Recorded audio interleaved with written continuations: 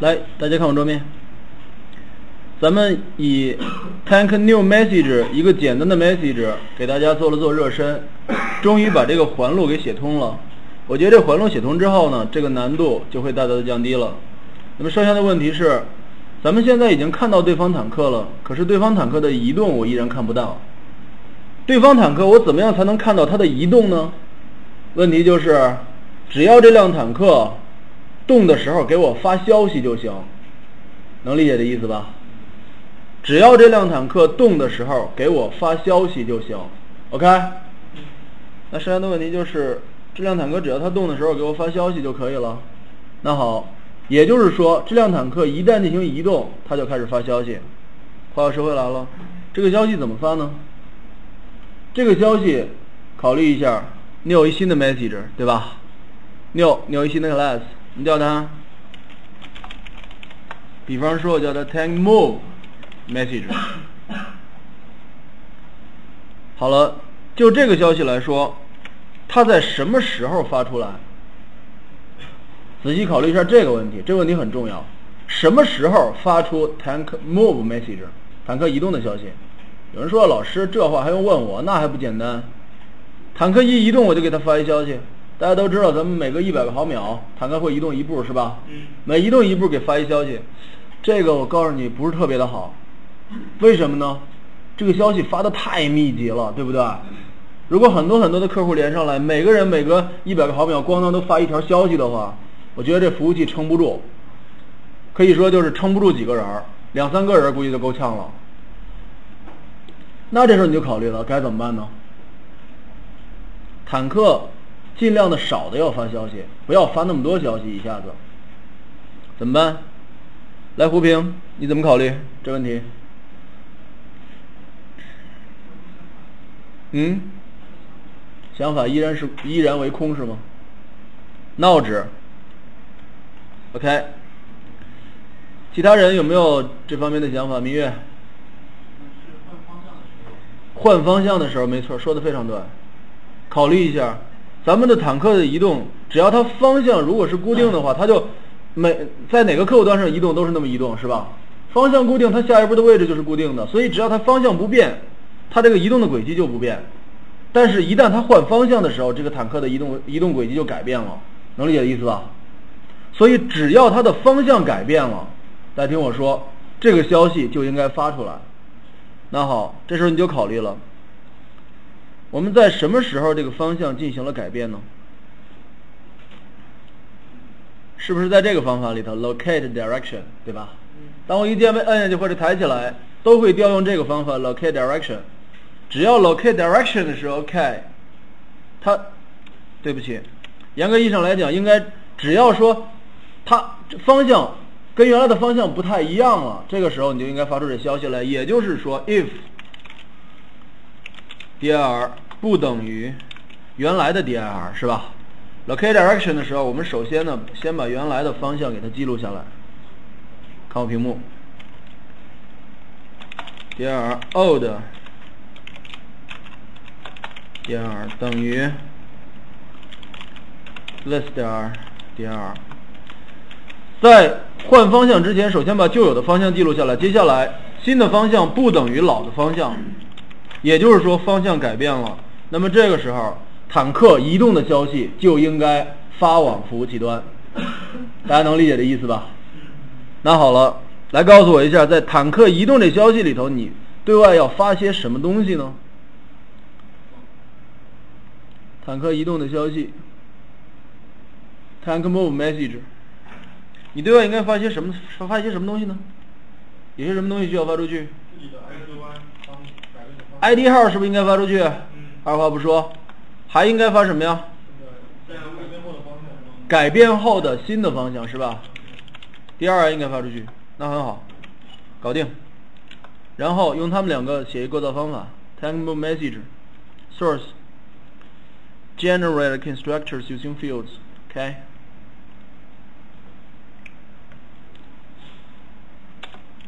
嗯，我们在。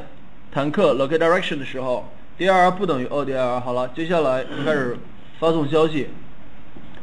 呃，发送的时候怎么发送呢？这事儿比较麻烦一些，tc 点 nc 点 send 一个 message 是吧？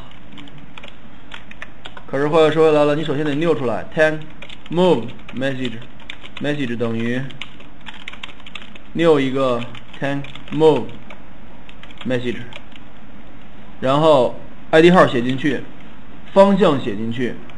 第二，接下来把它 send 出去。可是大家都知道，我这个 send 只能去 send tank new message 是吧？我这方法里头写的是，大家你注意看我下面这个，下面这这里。method send tank new message，OK？你只能去 send 一个 tank new message，这玩意儿麻烦了。你只能去 send tank new message，这怎么办啊？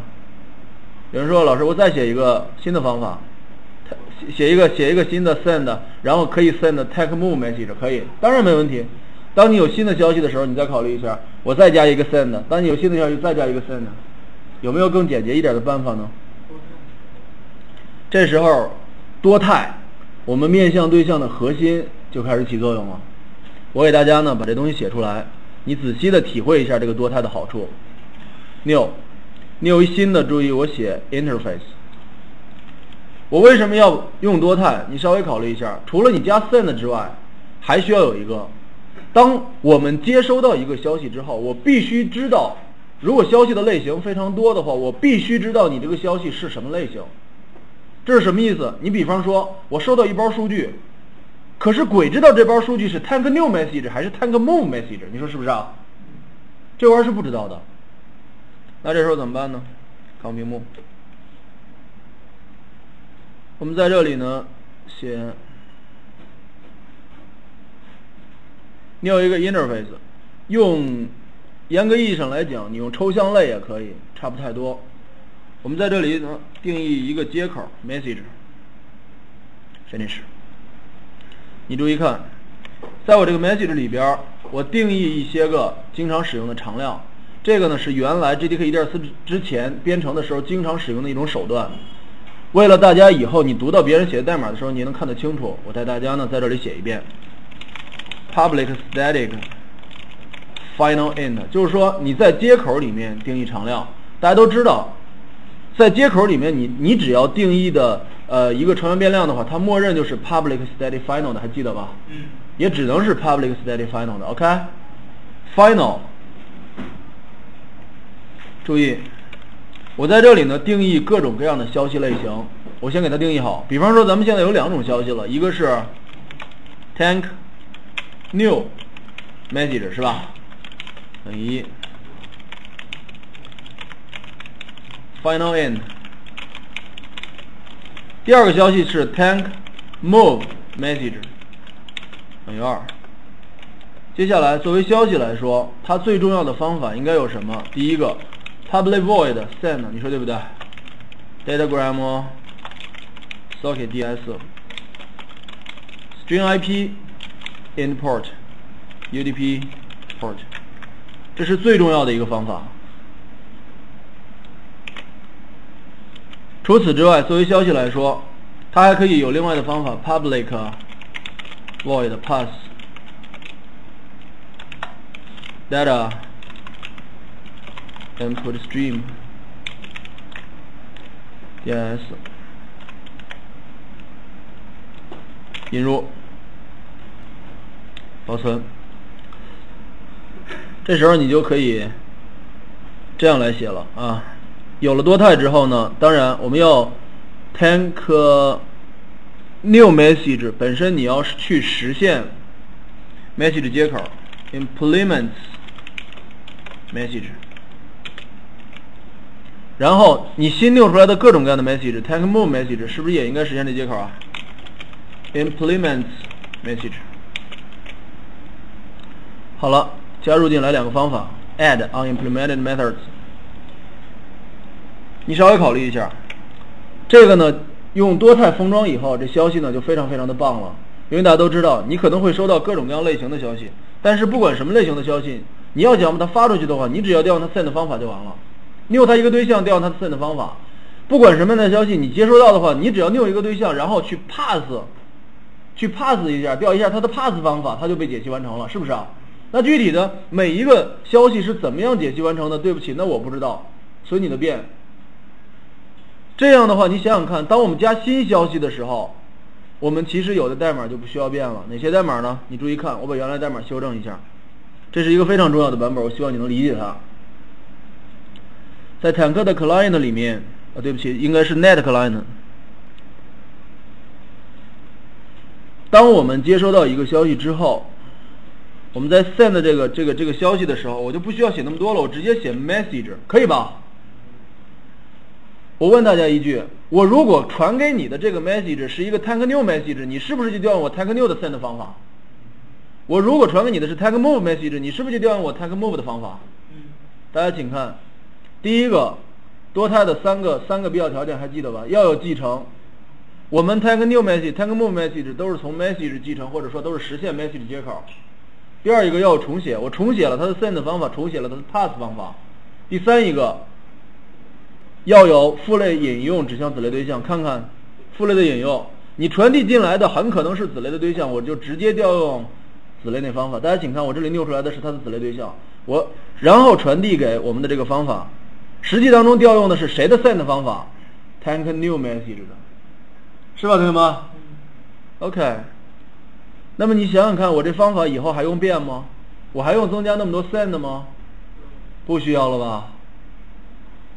我还用增加那么多 pass，不需要了吧？全都不需要了。我在这里的 pass 永远是调用 message 的 pass，OK？非常的好，这就是多态，多态封装消息体系，用起来非常的方便。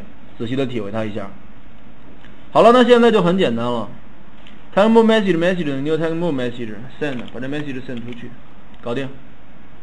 那么接下来你马上就开始来处理接收的了。接收的时候了，大家你考虑一下，当你进行接收的时候，当你进行接收的时候，你接收到这一包数据之后，你是不是首先你得判断一下，你接收到的这包数据是什么类型的 message？你说是吧，同学们？那这时候怎么办呢？处理的办法是这样的，咱们 tag new message 里面看我屏幕。我定义一个成员变量 int message type 等于 message 点 tank new message。大家你注意看，我在把它发出去的时候，dos 点 write int，我首先发出去的应该是我的 message type。那么你可以考虑一下，在我接收到之后，对方接收到以后。我首先把第一个 int 类型的数读出来，如果是一，它是不是就是我们的 tank new message 对吧？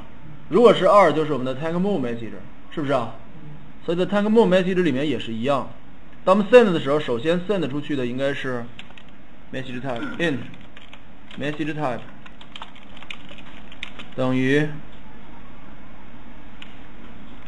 message 点 tank move message。当我们 send 出去的时候，首先 send 的是它。那么你稍微考虑一下，在 net client 里面接收的时候，pass 的时候，已经拿到这个 DNS 了。看我屏幕。接下来 int message type 等于 DNS 点 read int，判断一下 message type 类型，switch message type。下面的处理就非常简单了。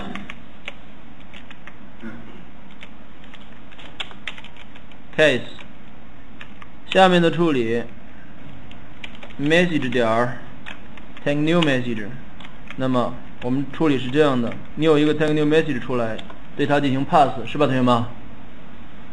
然后 break。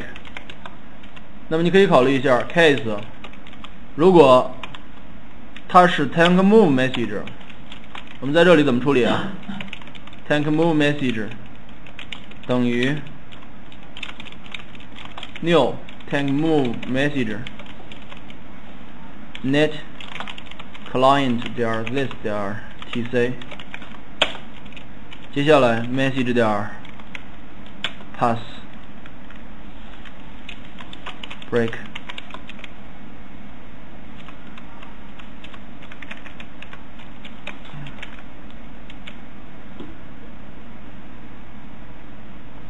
而且我这个写法。那么我可以这样来写。我首先定义一个 message 对象，然后如果是 new 出来的啊，如果是 take new message，我就让这个 message 等于 new 一个 take new message，然后调用它 pass 方法。或者是如果它是 take more message，我就让 new take more message，然后调用这个方法，可以吧？剩下的问题就是我们要增加这个构造方法。那看我屏幕，tank move message 实际上和 tank new message 差不太多，增加一方法，保留有我们 tag client 它的引用 tc，然后 public tag more message。tag client tc this 点 tc 等于 tc 好了，剩下的问题就是它怎么发出去，怎么收到。来 copy 一下，dis 点 radiant surrounded with track h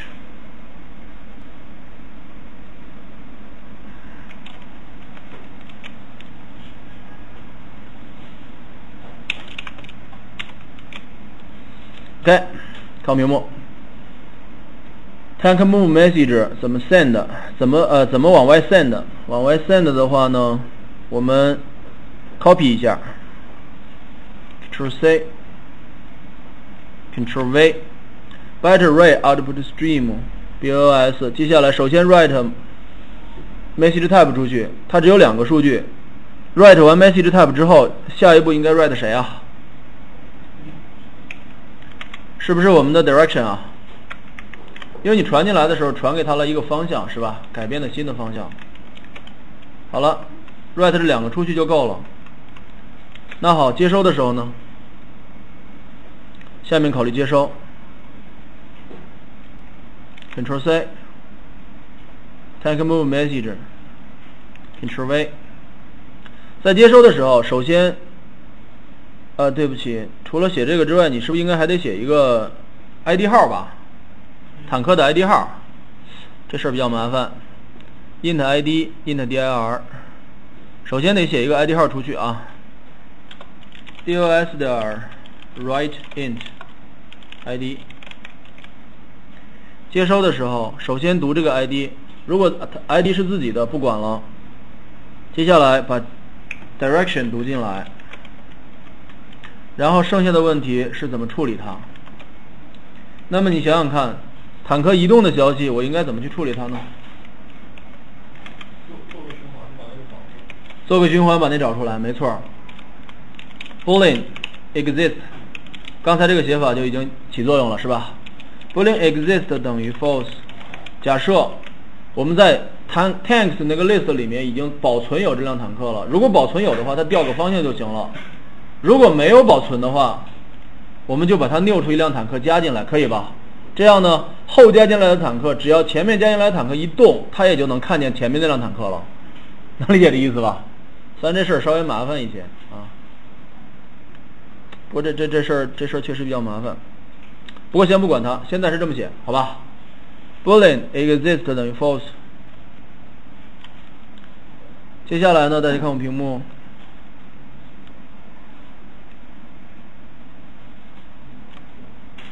写一份循环，i 等零，i 小于 tc 点 text 点 size，i 加加，tank t 等于 tc 点 text 点 get i。接下来 if t 点 id 等于传进来的接收过来的 id 号，那么这时候改变它的方向，t 点。dir 等于 dir，然后 exist 等于 true，break if not exist，如果不存在的话，那这时候怎么办呢？你应该加一辆新的坦克进来，是吧？可这时候加新坦克呢，不是很容易。咱们暂时先不考虑，先不考虑这问题了。回头我会告诉大家呢，怎么进对这个问题进行妥善的处理，好吧？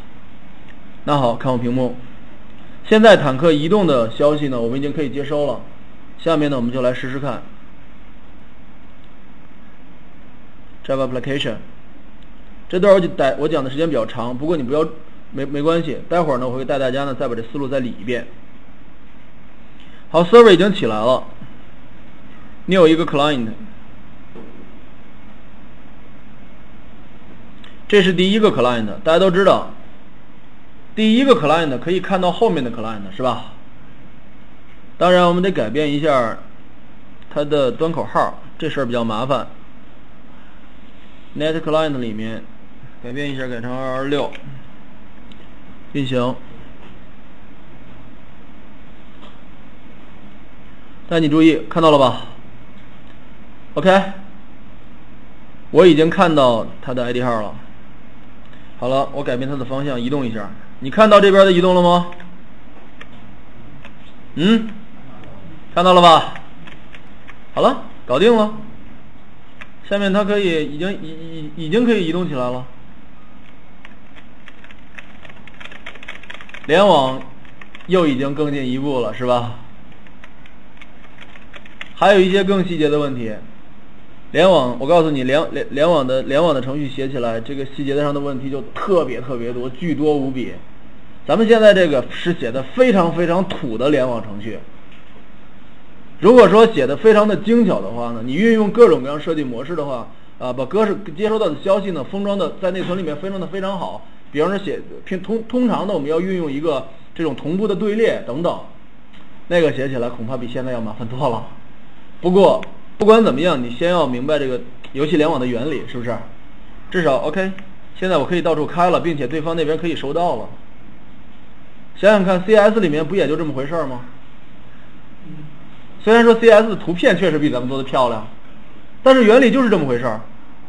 那哥们儿是电是转了个身，没关系，他转身之后发了一个消息，然后我这屏幕上这哥们儿也就转个身，不就得了吗？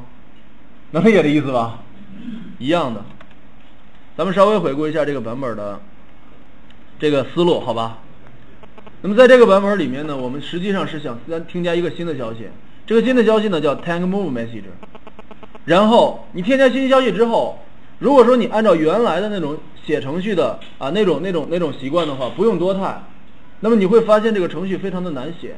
你必须得判断它现在拿到的是什么样的消息，然后再进行具体的分析。send 方法又得添加好多个，那这时候怎么办呢？运用我们面向对象最核心的东西多态，这个当然要运用好。添加一个新的父类，或者说咱们在这里是添加了一个接口，跟父类一个意思。添加一接口，子类都去实现它，重写好它的方法，然后我们运用父类引用指向子类对象，这程序封装起来就漂亮多了。将来你要添加新的消息的话，你这时候就需要改几个地方。第一个，在这里添加一个新的消息类型。第二个，net client 里面用一个 switch case，再加一个 case，剩下的全是你自己新增加的那个方法了，就是不是啊？新增加的类，OK 就不用变了。将来我还会告诉大家，如果这地儿封装的比较好的话，其实呢这些个 switch case，OK，我告诉你，完完全全都可以用配置文件给封装好。那也说明呢。你想加一个新的 message 类型的话呢，你只要直接加，然后配置文件里一改，程序的行为就已经改变了。有时间再说吧，好吧？OK，大家动手呢，把这个小版本呢给它写完了，好吧？我今天有同学跟我说反映说完全晕了，是吗？这这这可能我讲的比较快的原因啊。是我这视频已经录下来了，回头会共享给大家。但是我确确实实这个版本我讲的并不是很慢啊。嗯，我不知道多态这一小节大家听懂了吗？原理明白。原理明白。写起来细节上感觉没有那么那么顺利是吧？这个你要慢慢体会体会，好吧？因为因为因为这个多态来说呢。你确确实实得写一写，你才能够掌握这个这个到时候实际当中怎么去使用它。可是呢，很不幸，我告诉你的是，因为咱们不是主攻这个的，呃，我其实非常愿意呢，把这个游戏给大家写完全了，写的非常的写的非常的棒，运用各种各样的设计模式给它写完，写的非常的完整。可是咱们毕竟主攻是 J 图 EE 是吧？咱们还是那句话，要事为先。感兴趣，仔细的研究研究。OK，嗯，多肽这东西呢，其实你如果在实际工作之中，如果只是写那种 MIS 系统的话，其实你很可能就是完完全全的用不上。但是你写一写没有任何坏处，因为你应用的以后应用的那些个框架，Hibernate、Spring、Struts，像这些个框架来说，它到处都在用多肽。到处都在用反射，到处都在用设计模式，所以你掌握这些东西没有任何坏处，绝绝对对的对你来说好处是大大的。再稍微回顾一下，咱们是怎么运用多态的？那么大家你注意，我在 Net Client 里面，我我们可以对外的发一个 message 是吧？好了，对外发 message，注意看，原来我们写的是 send，在这里写的是一个死的 message，对不对？tank new message，那你发这个 tank new message，你就发不了 tank move message，那你怎么办呢？你只能再加一个 send 方法，能理解这意思吧？那太麻烦了，对不对？那这时候呢，我可以 send 所有的 message，这可以吧？一个方法我就搞定了，而且我直接调用这个 message 的 send 自己这方法。那你想想看，我只要任何一个 message，只要重写了这方法了，我调的就是这个 message 的自己重写后的这方法。你要添加新的 message。从 message 继承重写好 send 这方法，我这个 send 方法我就不用变了，永远不用变。从这个意义上来讲，多肽大大的增加了对于这个方法的灵活性，你说对不对？嗯。那很好，这是多肽所带来的好处之一。那么另外一个，你看这里，我实际上在这个地方也用了多肽。message message 等于空，我定义了一个 message 的引用，然后我根据 message 不同的 message 类型，我 new 的是不同的 message，看到了吧？我这里 message 等于 new 一个 tank new message，这里 message 等于 new 一个 tank move message，我 new 的是不同的 message，这不还是父类引用指向子类对象吗？然后我调用 message 的 pass 方法，你注意看，我实际的要当中调用的是接口的 pass 方法，可是我 new 的是哪个对象？我这里调用的是不是就哪个对象的 pass 方法呀？还是多态？将来。你要添加新的 message，你只要在这里 case message，比方说子弹产生 missile new message，好了，我在这里剩下的都是一样的，能 new 一个 missile new message，message pass，搞定吗？所以你已经封装好这个结构以后，你要添加新的 message，这程序改起来就简单多了。OK，使劲的体会一下这问题。那么。在我们对外写这个 message 的时候，你要注意一点，就是首先呢，你需要把这个 message 的类型自己所属的这个 message 类型先写出去。而我们 net client 接收到以后，我们首先是首先读一下这个 message 类型，根据不同的 message 类型，我 new 不同的 message，然后让具体的 message 去处理。这是一个细节，大家要注意一下。好了，动手写这一个小小的啊，严格意义上来讲，这不是一个小小的版本。动手写这个版本，应该是咱们最艰苦的一个版本。仔细的体会多态的使用。